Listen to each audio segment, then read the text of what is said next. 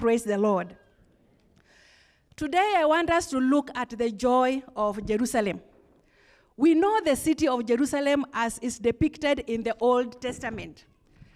The scholars say this was a, a city that began just like a humble city. Just the way we said, even CITAM Eldoret began uh, from just a congregation of about 15 or so people meeting at Harvard Hotel. That is the origin of Jerusalem city, right? Uh, very humbling. And then it grew. And uh, the Lord God appointed it as his city.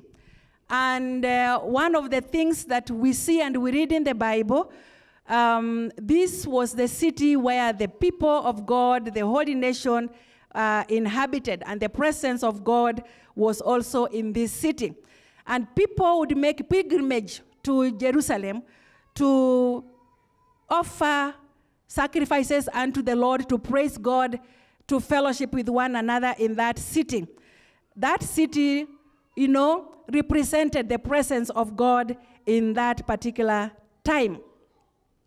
And of all the things, that city was expected to be holy uh, because every uh, camp that the Lord dwelt, God demanded that that camp remains holy. The people therein, it was expected that they also become holy. And therefore, it has, it has been a city that has also drawn interests from uh, various um, um, religious uh, people, Christians, Judaisms, uh, Muslims. They, they have some attraction in there. The city of Jerusalem. When we read the Old Testament, well, um, uh, sometimes it would be, you know, destroyed uh, by enemies. It would be, the, the, and the occupants would be sent into exile, and they would be brought back, and so forth and so forth. So this is the city that we are talking about in the Bible, Jerusalem. Now, we are talking about joy in Jerusalem. Now, I looked at the uh, Hebrew tutorials uh, about the, the word joy. Now, joy is a translation from the Hebrew word simcha, simcha, whose root is samach. Now, that's ha, it's only the lawyers and the, the, the, uh, the, the warriors in the, in the house that can pronounce it. It's K-H-A. Not very many people get it right. So uh, the word sim, simcha. The root is samach.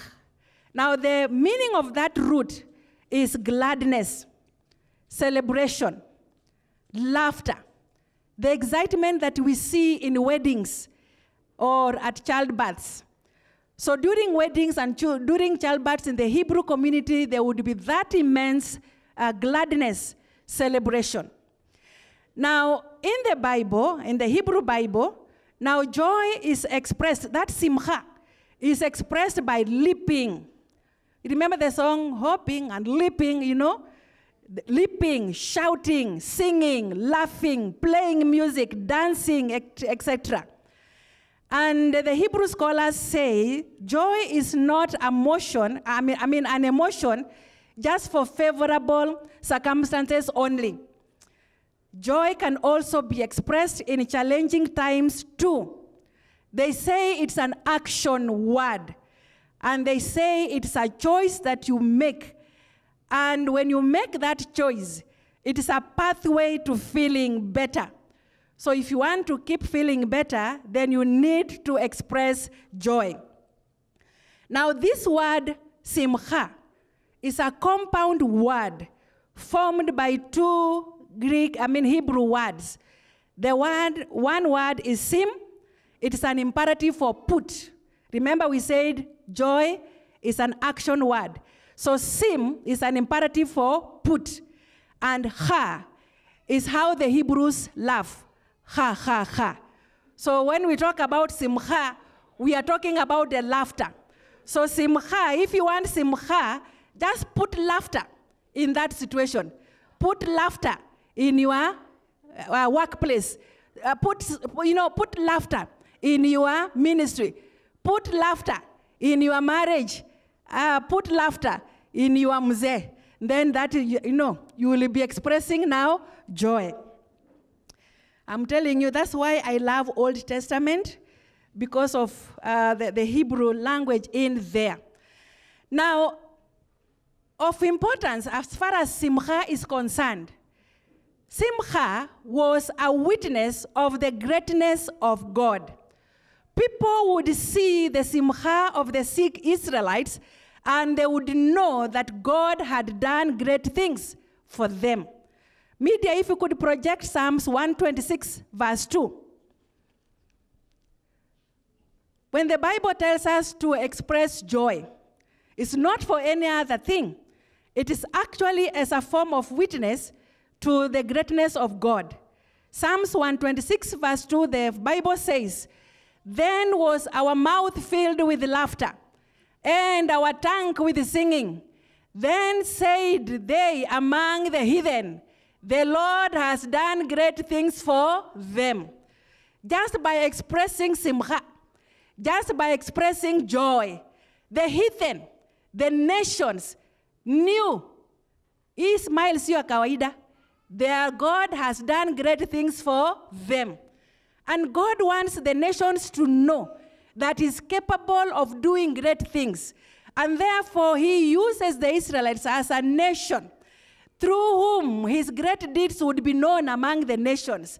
And therefore, then the Israelites, they were commanded that there would be a people that would exude, exude joy, so that the nations, when they ask, What is the smile for? it would be said, Their God has done this thing for them. And you know, they will not stop there at wondering, What is it that God has done? They would ask more questions. What is it that Lord has done? Can the Lord also, can their Lord also do the same things for us? And in the Old Testament, when people would see what uh, God had done for Daniel, do you know even the kings would declare, there will be no other God to be worshipped apart from the God of Daniel. And this is what is expected of us as believers that out of the joy that we exude, the nations would come to the saving grace of our Lord Jesus Christ. And this is the mission field we are talking about. Before even we go to Ngeria and Kimalel, can we begin by exuding that joy so that people would want to come and ask about what is it that makes you people joyous even in the hard, you know, economic times? Indeed, we can still go to, to Ngeria. We can still go to Kimalel and put a smile on our face because the Lord has provided for us and we are going to share. Now, let us now, um, as my working definition, I've talked about simcha, the Hebrew origin of this word joy. Joy, in our situation, is the perpetual gladness of heart that comes from knowing, experiencing, and trusting God. That gladness that comes out of your heart from knowing, from experiencing, and from trusting God. Nothing um, better can we define joy in our situation. Now, in Nehemiah chapter 12, we come across a city that much has happened. A city that has been in captivity for hundreds of years before. And in captivity, those were years of hardships, heartbreaks along the way. There were threats of hunger out there. There were threats of famine from outside there. Families were displaced and so forth. Pressures from within and without affecting their faith. It was not very easy even out there, remaining a believer of God. There was selfishness, and the restoration efforts, there were sometimes they would be futile. People mistreating others. It was not the best. And now that the temple had been rebuilt, the sacrifices had been instituted, the wall had been built, the gates had been put in place. and everything now was in place, there was need to come and celebrate the goodness of the Lord. You remember those that were mocking Nehemiah when he was building the wall? Do you remember one of the key one that was very notorious? What was the name of that young person? Can we remember them? We'll come across them later. The one that would say, even a fox, if a fox, you know a fox, a fox is not, I wish the person even said an elephant. Even if a fox just stepped on that wall, it will come grumbling, uh, crumbling down. Those were the mockery that the Israelites went through when they were rebuilding this wall. And now it has come to a time to give God the honor and glory. I'm telling you, the joy of Jerusalem was heard afar off. Now, afar off, thank God, NEMA was not there those days. So when the trumpet sounded, the trumpet sounded, and people who were far away heard that there's something celebrative going on in Jerusalem. We had a similar situation like that last Sunday. The Lord brought us 10 years, and we actually took stock of what the Lord had done for us, and we were celebrating. And I'm telling you, we were on Hope FM and that's the loudest maybe we could go. You know, NEMA has given us restrictions. If it were not for NEMA, there would be a public system there shouting going the other side and shouting going the other side and so forth and so forth. But whichever way, we indeed gave God all the honor and glory. But just before we, we, we uh, even look at how the day went, I, I wish um, that would allow me to go through what the dedication looked like that gave this resounding acclamation, this resounding uh, praises unto the Lord that is recorded, the joy of Jerusalem. Now, from verse 27 to 29, the Bible records that, you know, uh, the leadership of Nehemiah with the people that he was with in rebuilding the wall. Just before they dedicated it to, the, to God, they remembered that they were Levites that used to be in that place. So they brought the Levites to the temple, and the Levites were expected to carry their roles. Now the Levites are the like the, the you know the ministries uh, workers that we have here. They are the people who led in the praise and worship that the people who made sure everything is set and what have you, the temple could not be dedicated without the presence of the, uh, the, the, the Levites. So they sought them out from their places and they brought them to Jerusalem. They had many responsibilities in the worship of Israel. And uh, the most important of all was to lead people in songs of worship and praise uh, to God. I remember last Sunday, I had those of us who were in the worship team when CITAM Eldoret began. The, the, can we join the worship team? Can we join the worship team? You know, that is going to bring out those that were Levites to come and be a part of the ministry and be part of this significant thing in the lives of the Israelites. Now, they had to um, to celebrate with gladness, singing, dancing, and there were instruments that were there. The Bible here records the cymbals, the stringed instruments, and the harps uh, uh, have been mentioned here. Now, the Levites were also appointed to use those instruments to lead the people in worshiping God through the singing. And we also have the sons of the singers. Now, when the people had been sent in uh, exile, these sons of the singers, I want to thank God that they remembered they were singers. And when they were exiled, they did not go far. they had built themselves villages around Jerusalem. So it was very easy to go and gather them from the villages, and they were brought to uh, Jerusalem to sing and to lead people in singing. Now, the singers in Nehemiah's day had this close knit bond by families and also living arrangements. Now, there's something peculiar about the people of God among the Israelites.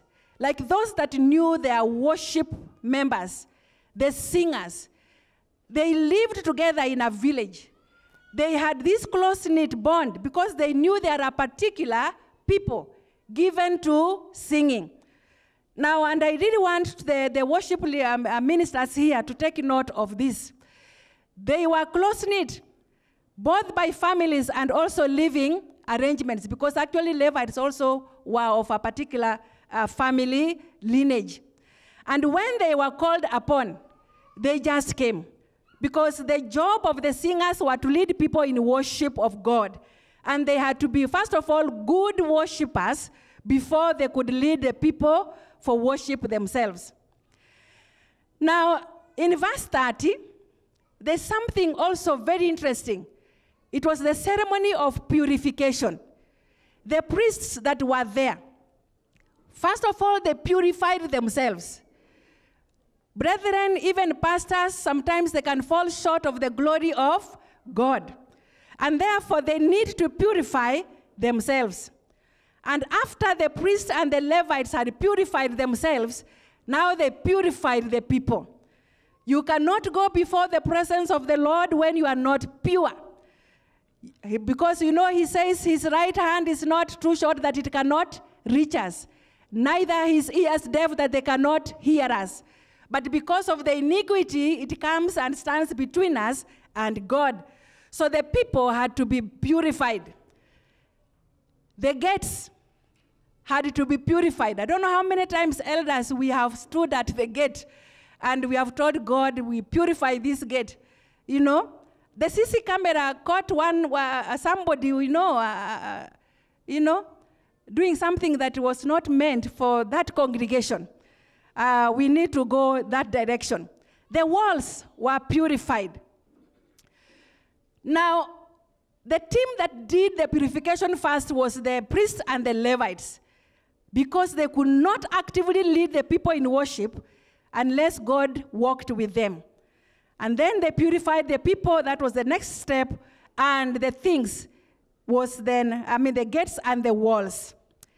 The Bible says in the book of 1 John 1 9, if we confess our sins, he is faithful and just to forgive our sins and to cleanse us from all unrighteousness. So there is need to keep on purifying ourselves, even when we come to give God the praise and the honor.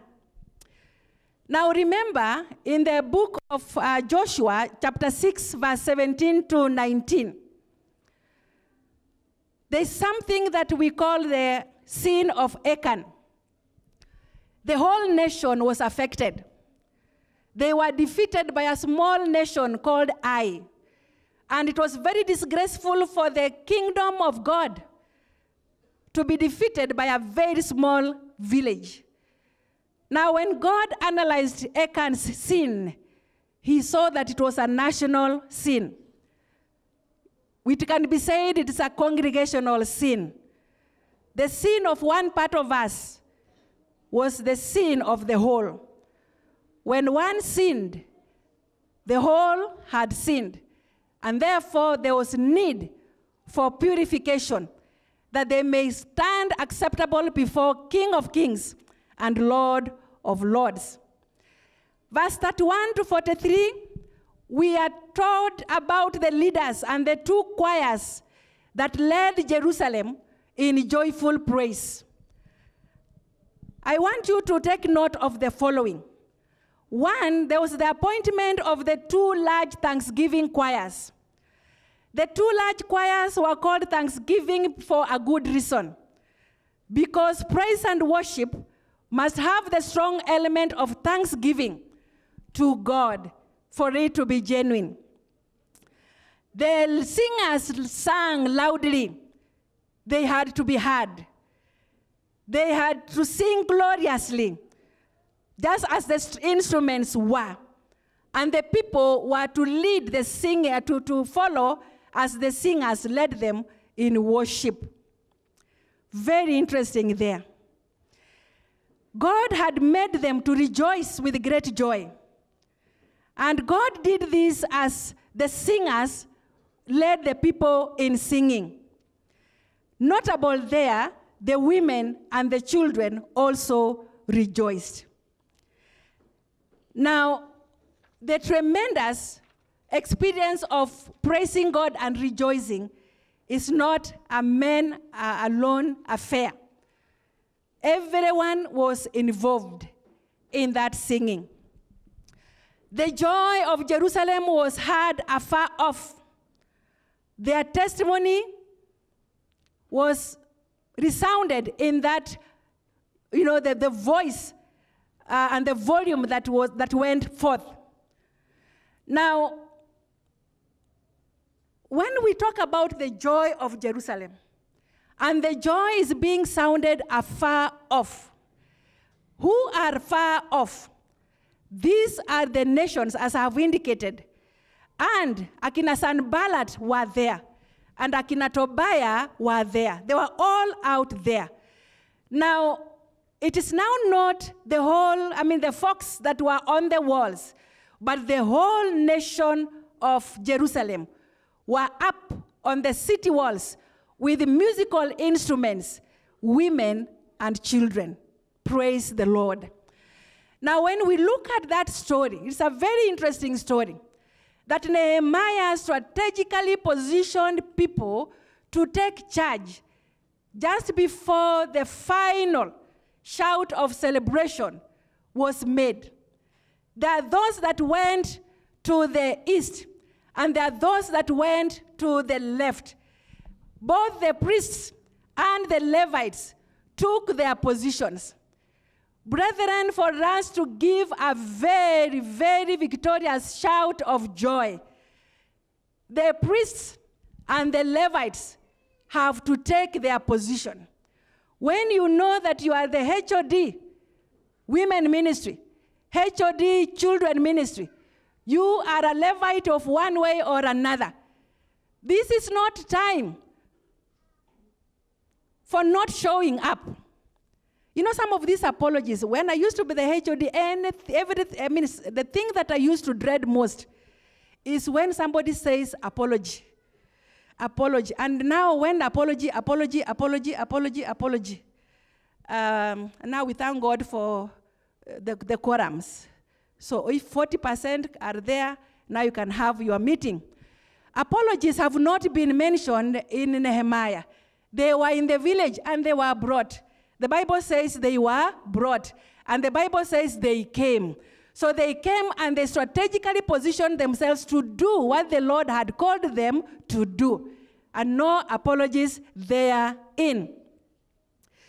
Now, those that went to the east and those that went to the west, they climbed up to the, the, the farthest end. I saw a picture of them up there. And I was like, wow, it was very, very glorious because they had to go up. And uh, no wonder the women were not up there. The names of the priests and the Levites, those are male. But the, the women were not left out. They are there. Hata kama walikuwa wanaimbia hapa chini, they sang loudly because they were part and parcel of the congregation. Now, um, last, I think last month I was in CITAM, Nakuru, and I was looking at the plight of children and uh, the way children are supposed to be the gifts that God has given us. And I was asking us and asking the congregation, in the book of Nehemiah, the children actually participated in expressing the joy because it's mentioned in the Bible the children participated in expressing the joy. And when I was going through the plight of children, I wondered whether the children in Kenya and the world all over have the opportunity or even the sense of knowing that there is God and they can praise God and they can honor God, that they can express joy because of who they are. It's only one or two that come for our Sunday services here. You know, vis a vis the millions, the 45 million uh, or, or, or about 30 million children that we have in our country. They are relegated, and we feel that they cannot even participate in giving God all the honor and all the glory. Today, we are not talking about the plight of children, it could be of another day. But when you look at the, the position of, we, of children, you would wonder whether they make part and parcel of mankind that is supposed to give God all the honor and all the glory. And look even at the participation of women that I, I, the, I was speaking in the CITAM uh, Kapsabet the other day and I was talking to women. And I'm telling you, women, we have the voices. We have the opportunities. We have what it takes. The Lord has given us the freedom. The Bible records in Nehemiah, the women together with the children came together and they participated fully in expressing joy unto the Lord Most High. So we are not lesser in any way. We are what God has said that we are. Now, the joy of Jerusalem. Joy, ladies and gentlemen, is expressible. I have talked about the joy being expressed in laughing, in dancing, in singing. Christians, we are not expected to have gloomy faces.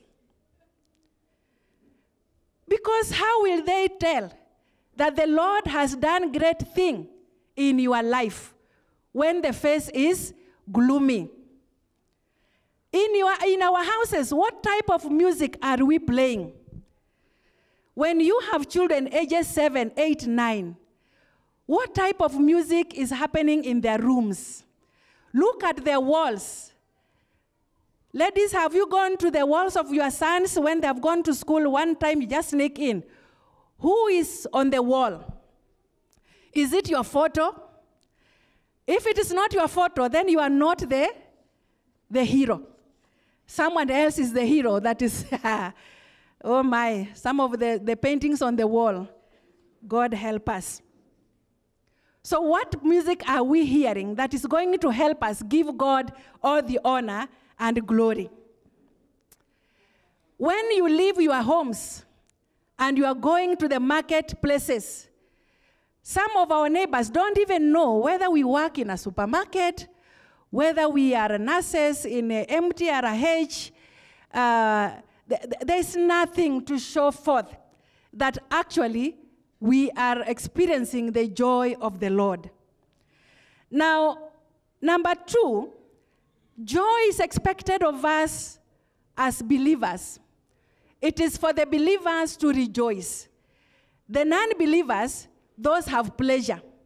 They can be happy. But for believers, the Bible commands us to rejoice. Media Philippians chapter 4, verse 4. Paul says the following and repeatedly says so. Rejoice in the Lord. And again I say, rejoice. I don't know how many times always is, but always is always. Remember the definition of simcha. It was not only when it was joyous, even when there are challenges, there was an opportunity to rejoice. Rejoice in the Lord always, and again I say, rejoice. God expects our joy. He expects his people to be living testimonies to the joy of the Lord. How will the world know that it is the Lord? How will the world know that it was the Lord? And then, number three, you may be wondering, Elder, how do you express, where do you get the very joy? Where we have read in Nehemiah, God is the source of our joy. The Bible says, God made them rejoice. God gave them the reason for joy. He is the author of the joy that he expects of us. Now, in Nehemiah, I've just read verse 43 For God had made them rejoice with great joy. God is the one who enables that joy. And He's the joy, I mean, the source of our joy. Now, in Nehemiah, it's a very interesting book about joy, despite the challenges that the Israelites went through. In Nehemiah chapter 8, verse 10b, the other uh, part, the last part of verse 10, the joy of the Lord is our strength. This is what Nehemiah would encourage the Israelites. Yes, you have, you have the challenges, but again, it is given that you show joy. For the joy of the Lord is our strength. Now, Israelites having had a personal relationship with God, God put joy in his people. God put his joy in his own. It therefore shows that without a personal relationship with our God, then you may not be able to express that joy. No wonder the gloom on your face. You know, the Samaritan woman, when she had a personal relationship with Jesus Christ, the joy could be seen. She didn't even matter that it was midday. She went saying, Come, come and see a man. She went running and shouting and telling it all because the joy of the Lord was in her heart and she had to express that uh, joy. Now, uh, the, the, the, in 1 Peter chapter 3 and verse 7, the Bible says that your prayers are answered according to something um, um, there. Maybe if you could just um, project 1 Peter chapter 3 and verse 7.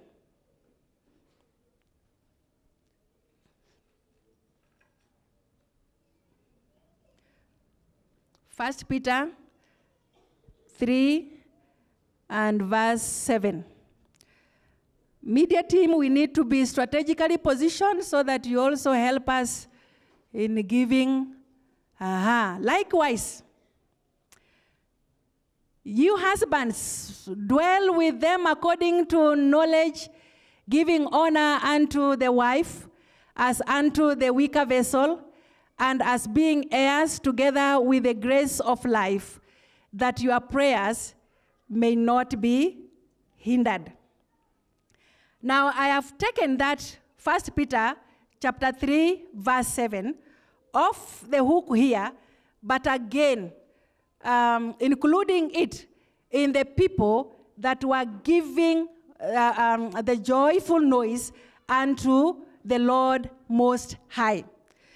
Now, when we look at the position of women and children, as I had indicated there, there are things that we ought also to consider that would be helping and, and hindering us from reaching out unto uh, uh, uh, the Lord. Our men are the priests, and we have the women and children in that uh, priesthood. And men just to encourage us, so that our prayers are not hindered. Let's engage our women and children in this, um, in this endeavor that the Lord has given us. And the last, but not least because of time, the joy of Jerusalem was heard far and wide. Now, we begin from Jerusalem. Jerusalem was a city, yes, but in our situation, God dwells in our hearts. We are the temple of the Lord. We are the dwelling place of the Lord. And therefore, it begins from our personal relationship with God. Now, the Bible says, You shall be my witnesses in Judea up to Samaria. So it goes through Judea and it goes to the utmost as far as where your situation can get. It is in Jerusalem that the joy is expressed, and then it is sounded far off. My question this morning is Is my joy of my God resounding in my Jerusalem? And when I move out to Judea, is my joy reaching out there? Is the sound of my joy reaching out to Judea and to the farthest points of, of the world? And this is the question that I would want the Holy Spirit to help us, you know, answer. The joy of Jerusalem was heard far and wide. Are they seeing the greatness of God in my life, in my workplace, and wherever I am? May the Lord help us to resound his joy far off. Now, the words far off are limitless. I can't even tell how far that far is. But the joy of Jerusalem was sounded far off.